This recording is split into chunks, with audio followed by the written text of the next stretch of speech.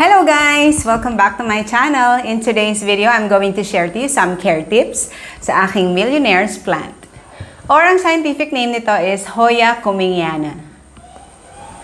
This plant is called millionaire's plant basically because of its leaves. Pabilog yung mga leaves niya, parang barya, and medyo makapal. I had this plant last year. Nung binili ko to, uh, dalawa yung stem niya. Isang ganito at isang ganito. So ngayon, uh, lumaki na siya. So I will share to you ano yung mga care tips na ginagawa ko, kung paano siya lumaki ng ganito, and also on how I am going to propagate this through water and through soil. I consider this as an easy-to-care houseplant. Hindi siya maselan pagdating sa sunlight and also sa soil. Ang napansin ko sa plant na to, mas mabilis siyang lumaki nung nakareceive siya ng direct sun. Kahit na mga 2 to 3 hours lang. May it be morning sun or afternoon sun. In terms of soil, hindi rin to maselan. I just use a combination of ano to eh, loam soil, garden soil, tsaka konting ipa. But if you have pumice, pwede mo siyang lagyan para mas well-drainy yung kanyang potting mix. For watering, ang gusto niya, yung madry mo na yung topsoil niya before mo siya diligan. For fertilizer, you may use a slow-release fertilizer, 10 to 15 pieces. Ako nilagyan ko to once pa lang actually last year. Hindi ko na siya nalagyan ulit. Pero, pag meron akong vermicast na na-order sa Lazada or sa Shopee, hinahaluan ko lang yung soil niya. So, kapag gumamit ka ng Osmocote, so 10 to 15 pieces, ilalagay mo lang siya sa soil. Huwag mo siyang ilagay malapit dun sa mga stem. And then, pagka naman yung vermicast, ihahalo mo lang siya dun sa soil niya. Uh, let's now move on sa propagation. You can do water propagation and also soil propagation dito. Madali lang din siya. Actually, putol-putol lang or cut lang. Ito lang, uh, two weeks ago, kinat ko ito dito. Ito, tsaka dito. Pwede kang kumuha better kung sa mas medyo matured na stem na. Pero actually, kahit maliit lang yung stem, katulad nito, ito kasi naputol lang to eh.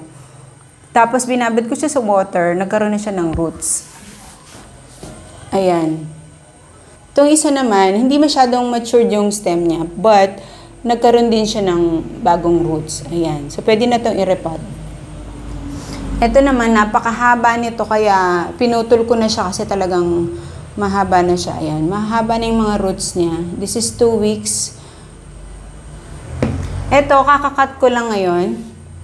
What I will do today, uh, magsa-soil propagation ako. And then, itong mga mahaba, ita-transplant ko na to sa aking hanging pot para dalawa na yung aking ganito. I will use this soil mixture. So, meron akong konting pumice, ito vermicast, and then ito yung organic soil na nabili ko sa bayan. So it's a combination of uh, soil mix, ipa, mga tuyong dahon, and mga tuyong kahoy na dinurog. I will use this white hanging pad. So nilagyan ko na siya ng soil mix. And then, um, ito naman, lalagyan ko muna, nilagyan ko muna siya ng bato sa ilalim. Kung gusto niyo na mas mahaba pa yung mga roots nito, pwede mo pa siyang extend ng mga 2 weeks. Pero sa akin, okay na to. I can already transfer this one. So, ito, since bagong cut lang to, ayusin ko lang yung pagkakakat nito.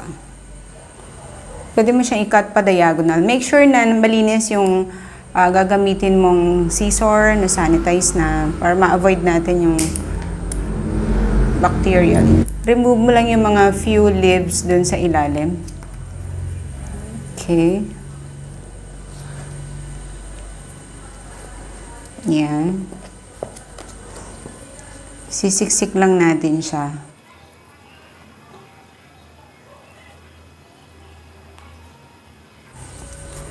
Pwede mong i-design to ng pwedeng pa bilog, pa heart shape, I-press mo lang siya para ma-avoid natin yung magkaroon siya ng mga air sa loob.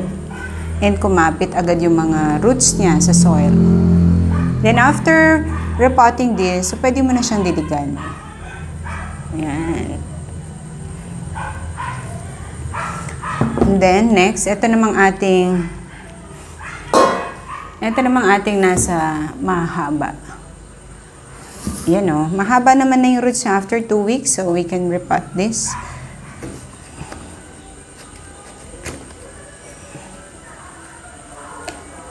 Usually, dinidikit nila sa dito, sa stem. yung stem dito sa handle. You can use uh, ribbon. You tie a yellow ribbon or any ribbon that you have. Pwede rin namang kung meron kang mga nut na katulad nito, you can use that. Meron ako, so ito muna gagamitin ko.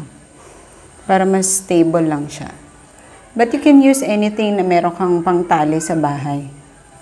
Meron lang ako, kaya ito yung ginamit ko. Okay, para mas stable siya. Yan.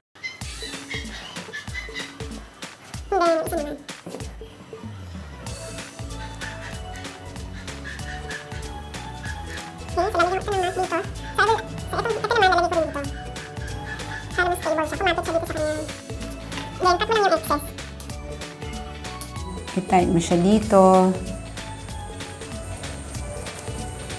Yan. Para may design yung iyong halaman. Okay. Bigyan ulit natin dito ng nut. Pag humaba siya, so pwede mo na siya ulit i-roll over ng ganito. O pwede rin naman isa pa if you want. Ganito. Lagyan natin siya ng ano. Meron ako dito blue ribbon. eh. So let's uh, make a design out of this. Okay, so ididiin mo lang yung soil para kumapit yung kanyang roots. Okay.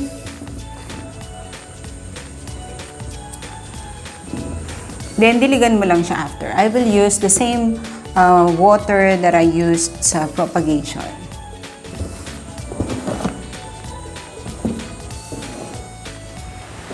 Ito na guys, sa mga newly propagated ones. So, tatlong millionaires plant na ako. This one hanging. Ito naman sa small pot. And this is the mother plant. So, yan yung perks ng pagpopropagate. From one mother plant, so may dalawang baby siya. Again guys, I recommend this plant especially sa mga beginners and also sa mga busy people. Hindi sila masyadong maselan. Madali silang alagaan.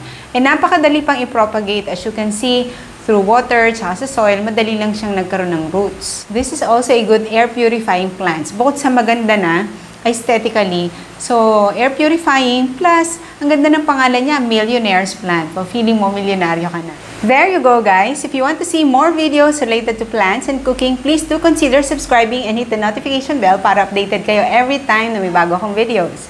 Thank you for watching guys. See you in my next. Happy planting!